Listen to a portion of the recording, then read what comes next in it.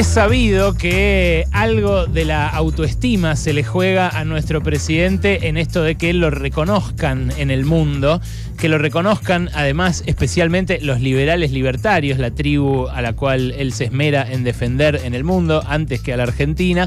y que lo reconozcan además sus colegas algo que le está pasando cada vez menos, ahora que lo critican incluso los economistas ortodoxos. Ayer eh, en Praga, al recibir un premio de un instituto liberal, eh, cuyas autoridades después desmintieron que sea legítimo porque aseguran que se los dieron antiguas autoridades eh, que no están en este momento al frente del instituto, Milei dijo que no solo se merece ese premio, sino también uno más prestigioso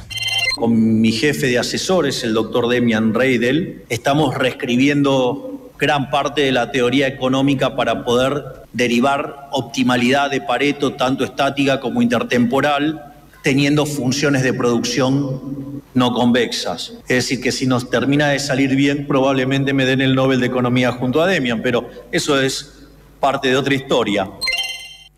Es espectacular de escuchar porque lo que uno se da cuenta al escucharlo es que el tipo está alardeando, que quiere mostrar que habla en difícil, que usa tecnicismos para que los demás no entiendan y para que eh, se fascinen con su conocimiento. Algo que por lo general hace la gente que no sabe porque como decías, Calabrini y Ortiz, eh, los asuntos de economía son tan sencillos que solo requieren saber sumar y restar. También se pueden complejizar luego los modelos y uno puede hacer uso de otras operaciones aritméticas, pero lo que decía Scalabrini es un buen reflejo para tener en cuenta. Si escuchás algo una vez y no lo entendés, lo volvés a escuchar y no lo entendés, lo volvés a escuchar y seguís sin entenderlo, lo más probable es que te estén cagando. Bueno, eh, Milei lo que dijo es en realidad una burrada. Porque habla de eh, que quiere, eh, quiere maximizar funciones de, producción convexas, mezcla eso con la teoría de los juegos, porque dice que eh, le van a dar el premio porque puede derivar un punto de equilibrio eh, de esa curva eh, no convexa con equilibrio competitivo, mezclando además lo que es una función de producción con la cantidad ideal de empresas eh, que hay en un mercado, eh, cosa que es una vieja discusión de los libertarios con Adam Smith.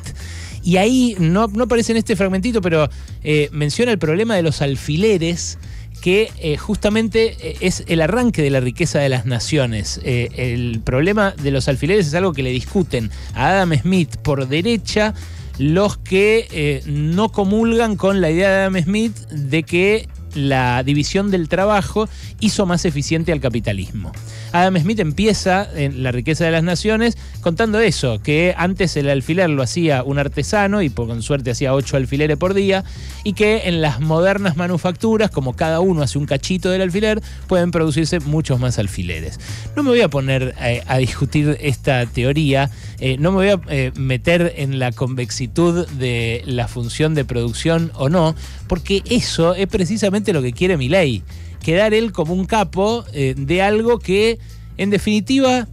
está haciendo para el orto, que es cuidar a la economía argentina. ¿Por qué digo que lo está haciendo para el orto? Bueno, porque eh, los primeros datos de la economía de este hombre que se presentó como un especialista en crecimiento con y sin dinero,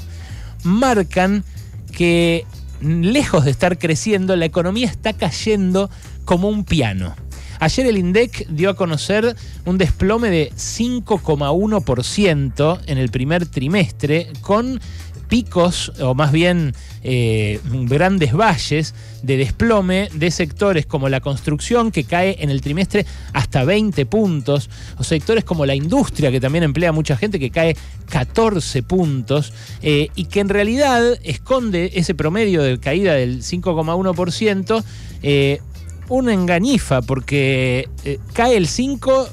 gracias a que el agro crece violentamente, más del 10, por la comparación con el primer trimestre del año pasado, que fue de sequía. Sin eso, la caída sería mucho más profunda. ¿Y por qué eh, sería mucho más profunda? Eh, porque están cayendo los dos principales motores del crecimiento de la economía, que son el consumo y la inversión. El consumo en el eh, trimestre que llegó a medir el INDEC del gobierno de Milei, que ya lleva dos trimestres, se desplomó todo lo que se había recuperado durante el gobierno del Frente de Todos, eh, luego de la caída que tuvo durante el gobierno de Mauricio Macri. Eh, lo que había recuperado el consumo durante la gestión del Frente de Todos, aun cuando terminó cayendo la economía con Sergio Massa en ese año catastrófico en el que la inflación llegó al 150%, era lo que había caído con Macri. O sea que a Milei le alcanzó un trimestre para igualar la caída del consumo que hubo con Macri en cuatro años.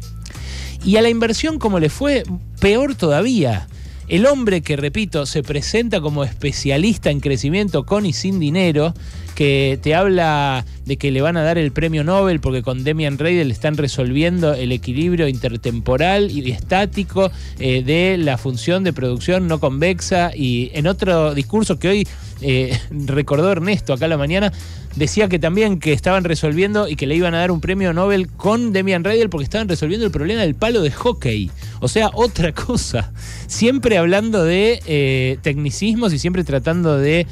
desorientar a la audiencia con algo que, bueno, parece que sabe, pero en realidad no sabe. Bueno, lo concreto, más que resolver el problema del palo de hockey o resolver el problema del equilibrio intertemporal de la garcha, es que eh, la gente quiere que no haya más inflación, pero que la economía crezca o por lo menos se mantenga. El mandato que tuvo del balotaje de las elecciones fue, obviamente, hacer bajar la inflación. Ahora, hacerla bajar con una caída récord de la economía en un trimestre y con un desempleo que empieza además a asomar la cola peligrosamente en un primer trimestre en el cual recién empieza a atisbarse simplemente eh, la suba eh, que, va a generarse por esta caída de la economía en los próximos meses, bueno, me parece que empieza a generar más preocupación. Eh, ¿Por qué lo digo? Porque lo miden las encuestas. Las encuestas marcan que la inflación está cediendo en la lista de preocupaciones del electorado, de la población, y que el desempleo está aumentando. Y no es para menos, porque lo que ayer aumentó el desempleo,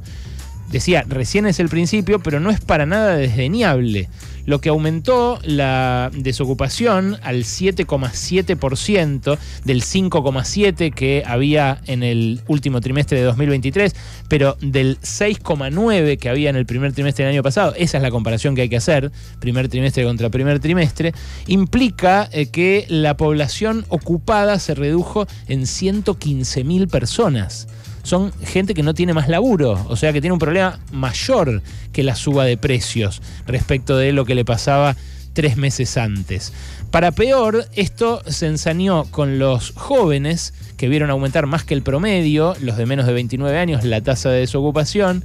y eh, con eh, los jefes de hogar los jefes de hogar eh, tenían una desocupación del 3,8% y pasaron al 5%, un dato que destacó Luis Campos, eh, sociólogo perdón, y especialista en mercado laboral de la CTA, eh, que bueno, viene advirtiendo sobre los efectos del desplome de la economía sobre las plantillas de las empresas. Es una recesión para el premio Nobel, le podrían dar el premio Nobel a la recesión más rápida y más pronunciada generada en un eh, contexto de paz, en un contexto en el cual no hay